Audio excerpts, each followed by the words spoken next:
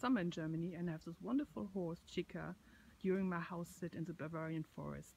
We do long trails every day and look what I found, a blueberry field, a lot of blueberries around here and of course I couldn't resist to get up and get some blueberries and you see a lot of mushrooms. Well this one I can't eat but look what happens if you pick up blueberries. Now you know what they call blueberries you get blue hands.